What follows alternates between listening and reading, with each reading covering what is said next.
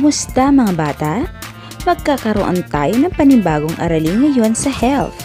Ito ay ang maging ligtas sa kalsada. Samahan niyo akong matuto.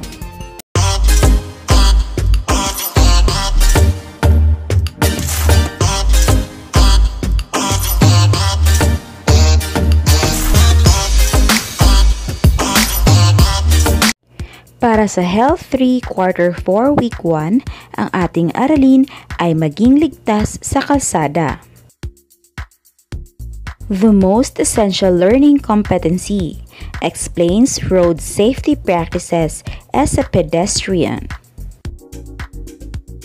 Sa araling ito, makatutulong sa iyo ang mga kaalaman upang maging ligtas ka sa pagtawid sa kalsada. Pagmasdan ninyo ang larawan. Nakakita ka na ba nito? Saan kaya ito makikita? Bakit kaya may ganito? Kung kayo ang tatanungin, paano tumawid sa kalsada ayon sa mga patakaran ng batas ng kalsada para sa mga naglalakad? Makikita natin ang mga simbolo sa kalsada ukol sa pangkaligtasang gawi kung ikaw ay nasa kalsada. Pagkukulan natin ng pansin ang mga ilaw trapiko, pula, dilaw at luntian o berde na kusang nagsasalit-salitan sa pagpatay at pagsindi sa mga magkabilang daan napakapayak na kanilang nirerepresenta kung tutusin. Ang luntiang ilaw ay para sa pag-arangkada o go.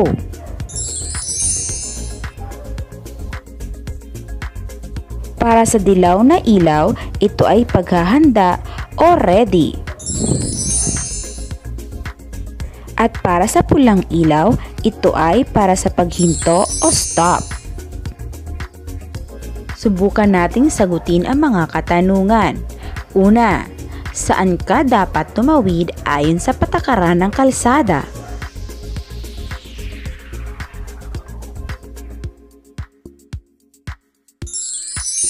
Tama, pook tawiran. Pangalawang tanong.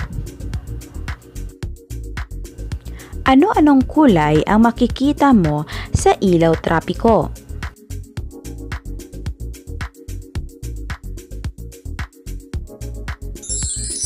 Ito ay berde, dilaw at pula. Pangatlong bilang. Ano ang ibig sabihin ng kulay pula, dilaw at berdeng ilaw trapiko?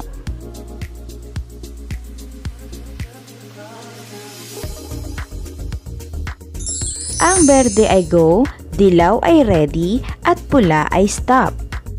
At ang pang-apat na katanungan, bakit kailangan sumunod sa batas ng kalsada para sa mga naglalakad?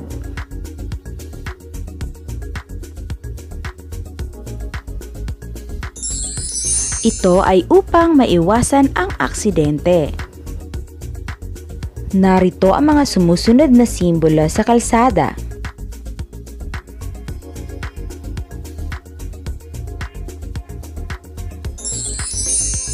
Ilaw trapiko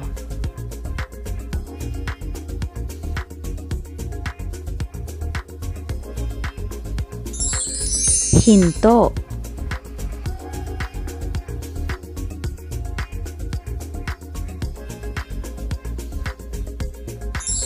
Tawiran para sa tao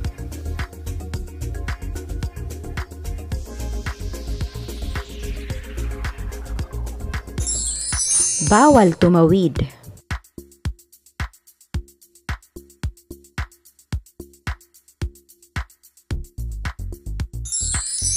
Bawal pumasok.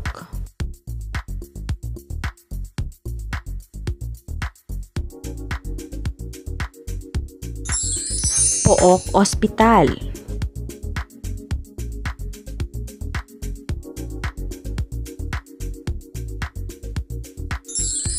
Riles ng tren.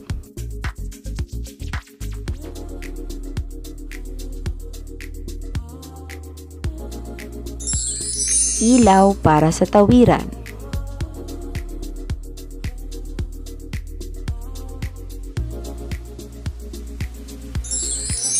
Pook tawiran.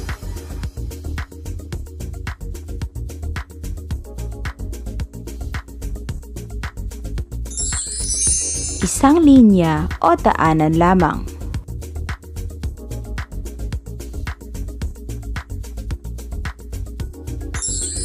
Pook paaralan.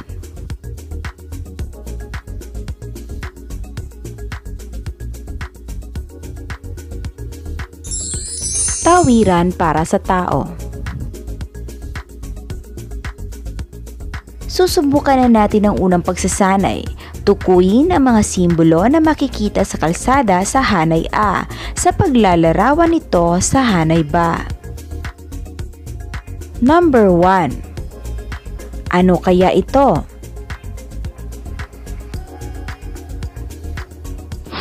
Tama, letter C, puok tawiran. Number 2, anong sign kaya ito?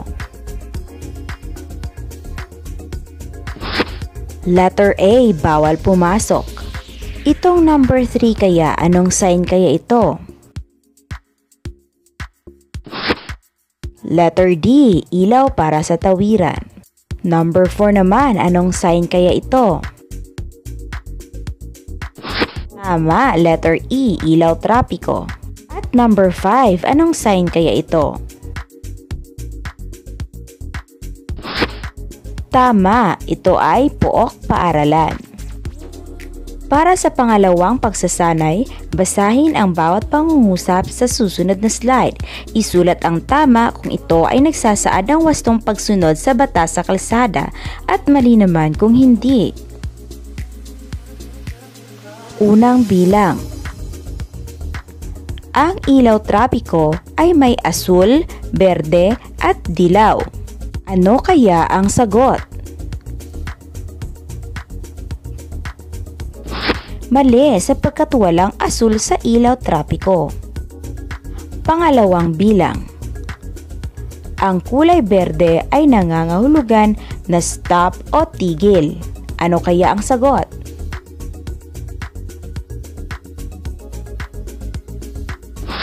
Mali din sapagkat ang berde ay go.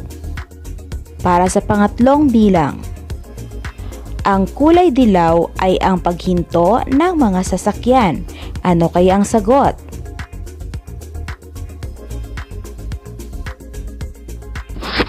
Mali sapagkat ang dilaw ay ready o paghahanda.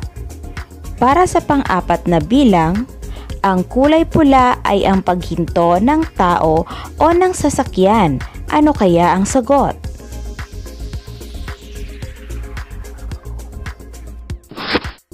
Tama, napakahusay.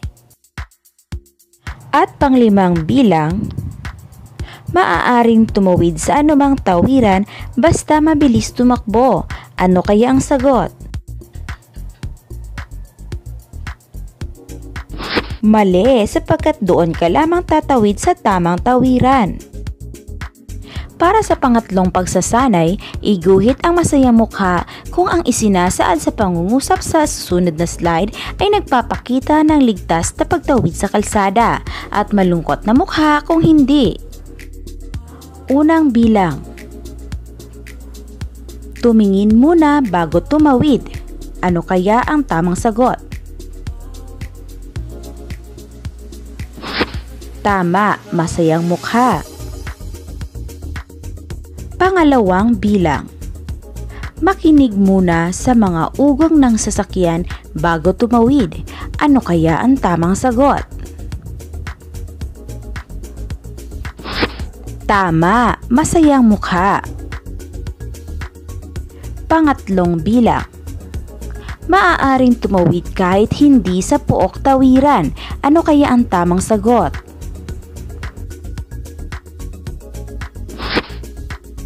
Ang sagot ay malungkot na mukha. Pang-apat na bilang. Laging sumunod sa batas trapiko. Ano kaya ang tamang sagot? Napakahusay, masayang mukha. At panglima ang bilang. Maglaro sa gitna ng kalsada. Ano kaya ang tamang sagot?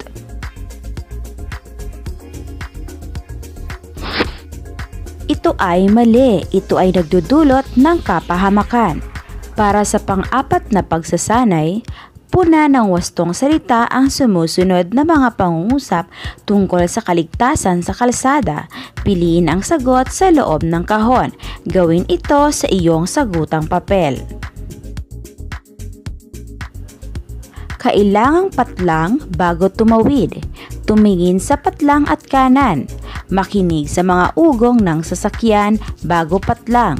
Dapat sumunod sa patlang, trapiko at mga patlang sa kalsada ukol sa pangkaligtasang gawain.